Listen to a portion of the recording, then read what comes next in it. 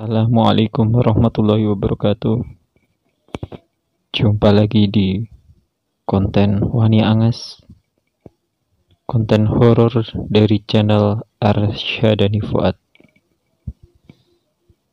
Wani Angas sembari menunggu kontribusi dari para narasumber yang menyumbangkan ceritanya kepada tim Wani Angas Wani Angas menghimpun cerita dari beberapa sumber yang bisa dijadikan referensi kisah-kisah horor untuk Wani Angas.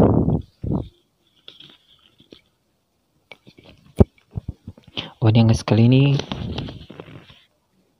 akan membawakan salah satu tempat yang terkenal horor di Kabupaten Sukoharjo. Tempat itu bernama Waduk Mulur. Waduk Mulur dibangun tahun 1926 di atas tanah selebar 43 hektar dengan volume waduk 2,7 meter kubik. Waduk yang dibuat sebelum zaman kemerdekaan ini dulunya merupakan tanah keraton Surakarta yang kemudian dialihfungsikan menjadi sebuah waduk sebagai pengendali banjir dan juga sebagai pengairan sawah atau irigasi di wilayah Sukoharjo. Waduk Mulur menyimpan aneka misteri yang mungkin akan membuat kita ketakutan dan mengernyitkan dahi. Salah satu tanda waduk muhlur sangat misteri adalah waduk mulur pernah memakan banyak korban tewas tenggelam di dasar waduk tersebut. Korban-korban yang terkena mistisnya waduk mulur ini kebanyakan ya karena terpleset ataupun tidak sadar diri tiba-tiba jatuh dan tenggelam. Hal ini sering terjadi di Waduk Mulur, bahkan hampir setiap tahun sekali.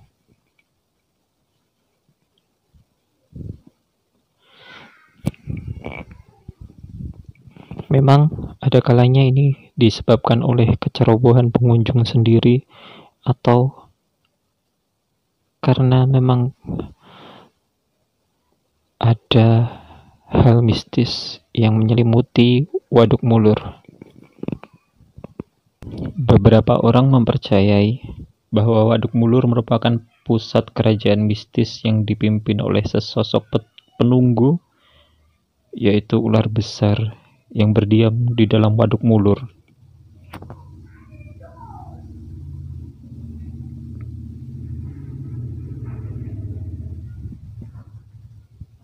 Konon ular besar ini hanya akan muncul pada saat-saat tertentu saja dan hanya orang dengan indera keenam yang bisa merasakan kehadirannya. Di dalam dan di pinggir waduk mulur tercatat ada tiga pemakaman umum dan pada bagian tengah waduk mulur terdapat makam salah satu pejuang kemerdekaan yaitu Kiai Sayyid Iman atau yang biasa dipanggil Mbah Sayyidiman. Mbah Sayyidiman ini merupakan salah satu pengikut dari Pangeran Diponegoro yang hingga kini makam tersebut masih terawat dengan baik. Di lingkungan Waduk Mulur dulu juga pernah digunakan sebagai tempat eksekusi bagi para pelaku pemberontakan PKI sehingga kini masih terkesan angker.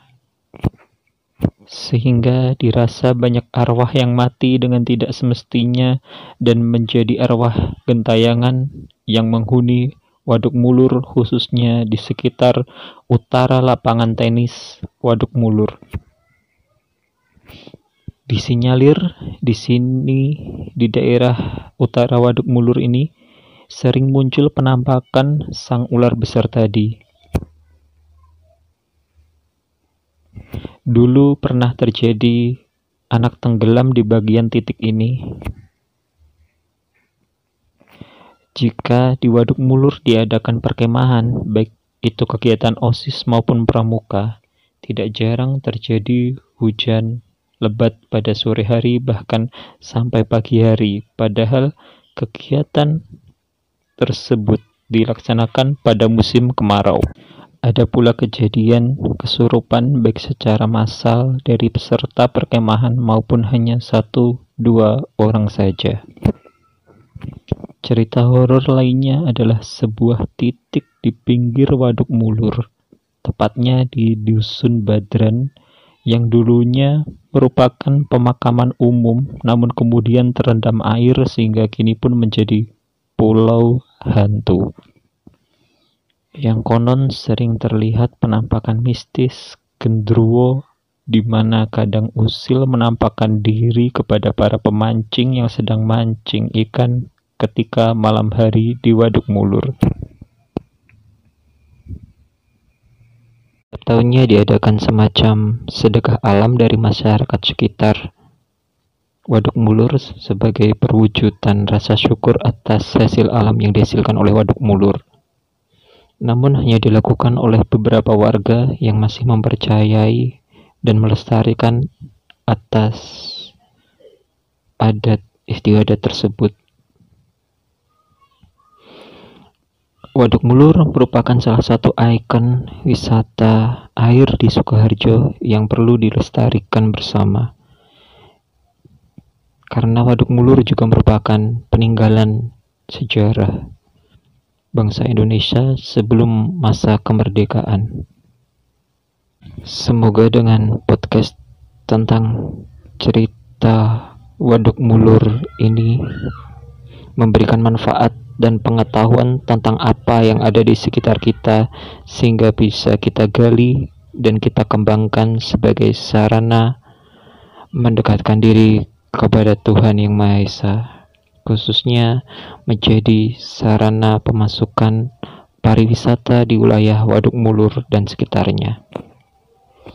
Cerita ini bersumber dari wadukmulur.blogspot.com yang diposting tanggal 27 Maret tahun 2016. Info terbaru dari Waduk Mulur ini ada warga dari Joho Sukoharjo yang hilang menghilang bernama Alif.